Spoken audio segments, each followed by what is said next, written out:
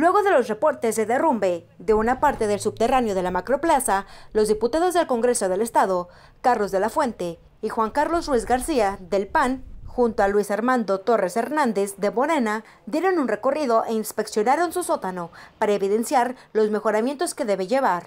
Juan Carlos Ruiz mencionó que este deterioro puede ser peligroso para los automovilistas y peatones que circulen por este puente subterráneo, siendo probablemente causa de las jardineras que se encuentran en la parte alta, las cuales provocan humedad en el acero y concreto. Nos preocupa que puedan caer a pedazos el concreto sobre algún carro o que el daño en el paso peatonal provoque que alguna persona se tropiece, se lastime. Los diputados hicieron un llamado a Protección Civil del Estado y al gobierno estatal a realizar una revisión del lugar y mejorar sus condiciones. Pienso que hoy por hoy esto es una medida de protección civil.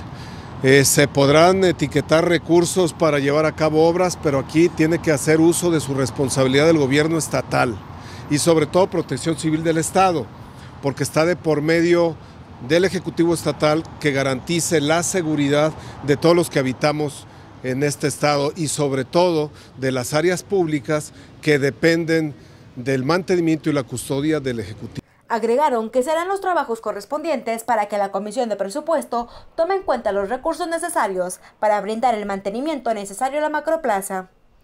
Con imágenes de Arona Armenta para Informativo Nuevo León, Diana Rodríguez.